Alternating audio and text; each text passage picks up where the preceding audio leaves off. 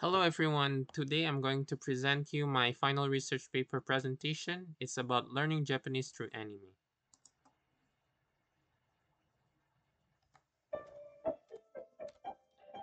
So I'm gonna let you know a little bit about facts uh, about Japanese and anime. It has nearly 120 million people who can speak Japanese, but most of them come from uh, Japan or its origin country. This is because uh, the language itself lacks uh, reach uh, to many other Asian countries or even countries around the world.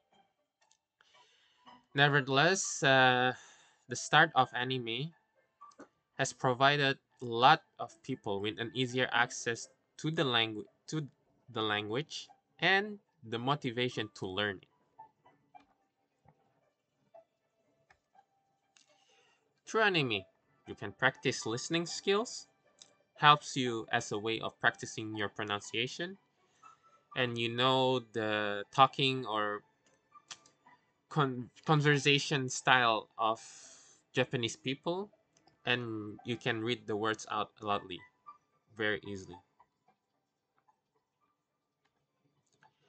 Okay, reasons. Uh, one of them is its rhythm.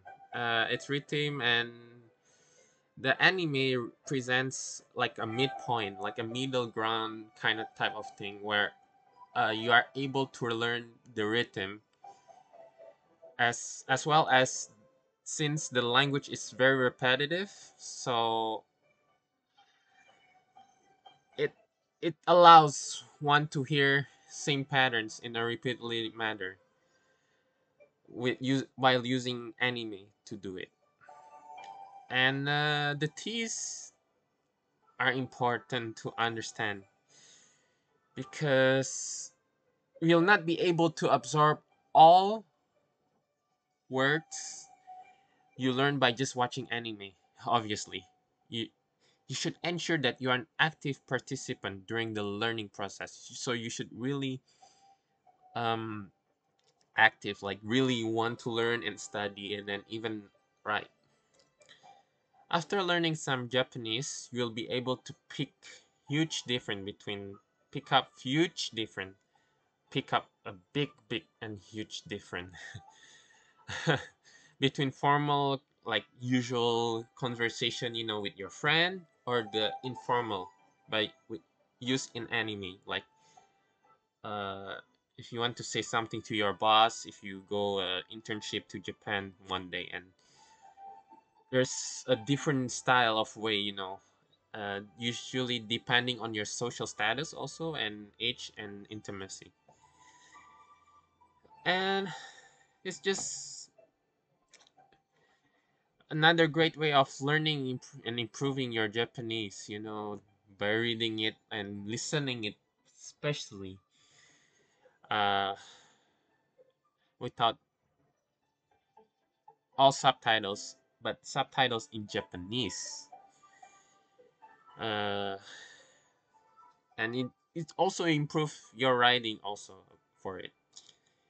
The examples are you should really start from the basic and to more complex anime, like more hardcore kind of type of anime.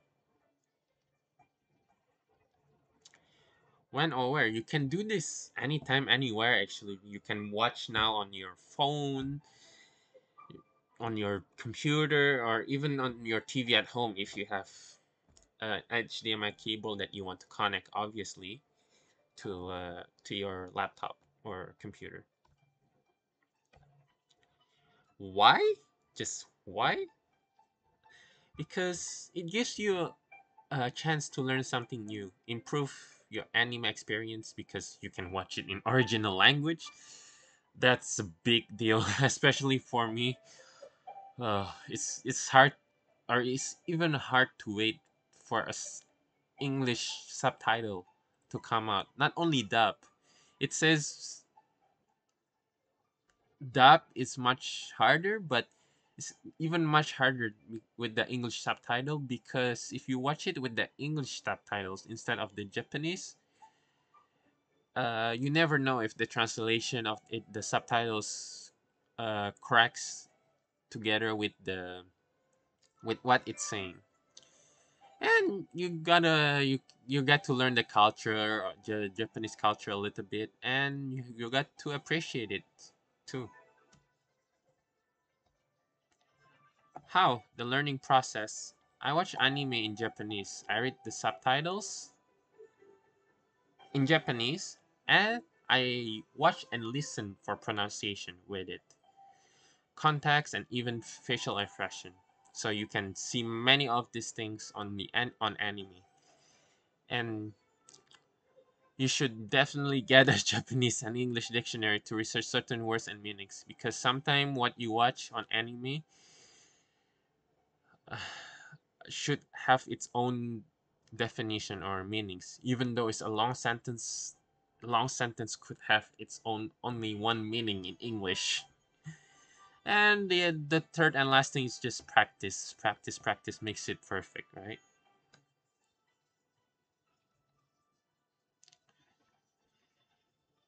So conversational learning uh, with anime so the conversation part is uh, really based on honor firstly the honorifics Anime and manga can be a great way to get a broad overview of all different types. But remember to be careful because sometimes they can see you as rude because they are older than you or they are younger than you, so you really have to be careful. And uh, introduction to Keigo, it's a bit. This is a bit where you used a bit of your informal style where like if you work or if you do an internship in Japan, which is I would love to be to go someday to do internship there. Uh, the best place is uh, really try try to practice like the the regular common phrase that you would need to to ask or like to do a conversation with your boss when you get to in Japan. And yeah just again you have to be really careful with it. Uh, they they might if you come to japan or if you do an internship there uh, they might understand you because you you know you even you don't speak japanese well they might still understand you uh, that okay you know so you don't have to worry about that much but you still have to be really care- careful even even if you learn some words on anime, you should do research yourself also. And uh, third and last thing is really expressing feelings. Shojo anime is like that type of anime is like shonen, but it's like a bit of for female viewers. It's like battle. I don't know if you guys know anything about the um what's it called uh, Sailor Moon. Sailor Moon. Uh, it's kind of like that. So its focus is really a lot for female viewers. Even though I generally don't, I des- generally disagree a little bit with that because it helps a lot with guys also, in some ways. But yeah, like how to say like I lo- I like you, you know, in Japanese. So it really helps a lot with anime. It shows you a lot uh, how to be uh, a gentleman or how to be a, a wonderful woman to express your own feelings.